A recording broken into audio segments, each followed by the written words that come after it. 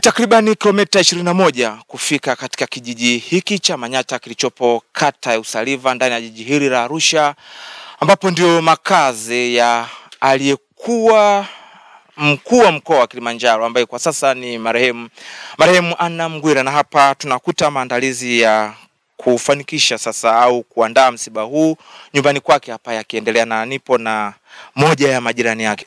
Marehemu ameshawahi kuhudumu katika nafasi ya ukuu wa mkoa eh, lakini alishawahi kugombea urais wa Jamhuri ya Muungano wa Tanzania kupitia ACT Wazalendo kama sikosei. Alikuwa ni mtu wa namna gani? Sio mtu wa majidaidai huku mtaani.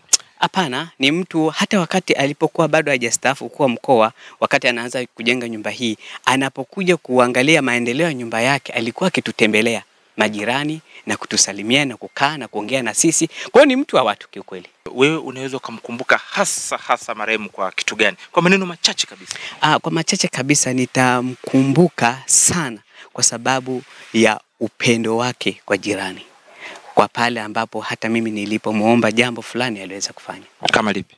Mm, nilivyosema toka mwanzo kwamba nilimuomba magrili aliyabadilisha kutoka kwenye nyumba akaweka aluminium. Nikamwomba tu kwamba mama, naweza ukanisaidia? Akasema ndio, na akanipatia.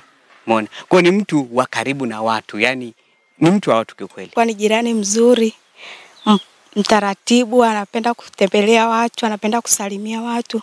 Kwa hiyo tumepokea hicho kifo kwa masikitiko sana.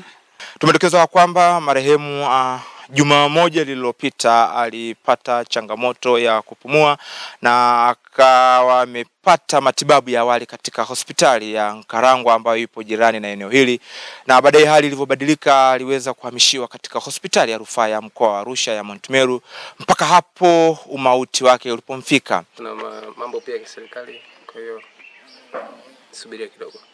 Sama, hatuwezi tuka Hatuwezi kufanya chochote bosi wangu, naomba tupishe kidogo, Sawa. sawa? Haya, haya, haya. sawa.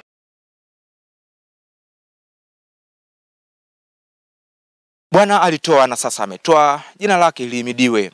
Kutoka hapa nyumbani kwa marehemu Anna Mgwira katika kijiji hiki cha Manyata kilichopo katika kata ya Usarifa jijini Arusha, mimi ni Doto Kadoshi wa EATV saa moja.